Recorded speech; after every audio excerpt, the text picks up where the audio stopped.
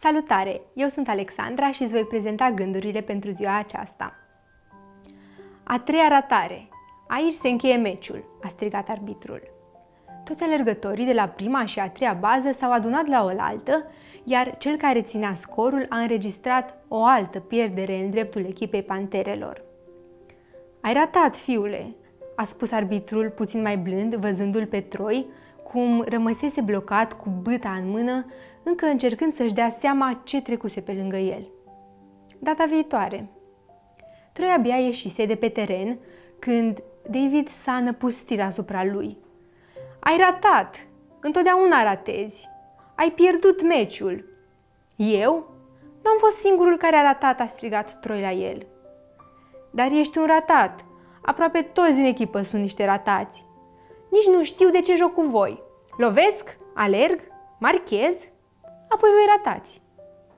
Jake s-a alăturat și el lui David în nimicirea lui Troy și curând s-au adunat și alții să vadă despre ce era vorba. Noi doi, s-a lăudat Jake, am putea să vă batem pe toți ceilalți.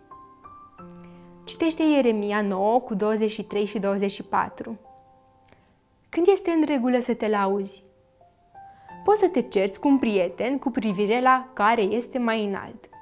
Dar amândoi sunteți scunzi în comparație cu mijlocașii celor de la Lakers. Puteți să dezbateți care dintre voi este mai deștept, dar Einstein nu va fi cerut niciunui ajutorul la teme. Tot la fel, Dumnezeu ne amintește că nu ne putem compara cu El. Cu cine mă veți asemăna? întreabă Dumnezeu în Isaia 40 cu 23 ca să fiu deopotrivă cu el. Scopul lui Dumnezeu nu este acela de a ne face una cu pământul, cum face un copil care vânează furnici cu o bâtă de baseball. Iată ce vrea să zică. Lucrurile cu care ne lăudăm sunt imperfecte, lipsite de putere și stricate. Este absurd să te lauzi excesiv cu o minte care greșește, o frumusețe care piere mușchi care se deteriorează și bani care dispar fără să ne dăm seama. Este bine să ne bucurăm de lucrurile pe care ni le oferă Dumnezeu. Însă încrederea și siguranța noastră ar trebui să se bazeze pe Dumnezeu. Nu pe un Dumnezeu rău și răzbunător, ci pe unul care este desăvârșit în îndurare și bunătate.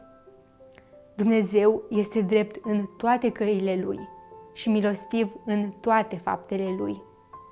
Și a avea un prieten ca El este ceva cu care să te lauzi. În Ieremia este scris la capitolul 9. Ci cel ce se laudă să se laude că are pricepere și că mă cunoaște, că știe că eu sunt Domnul.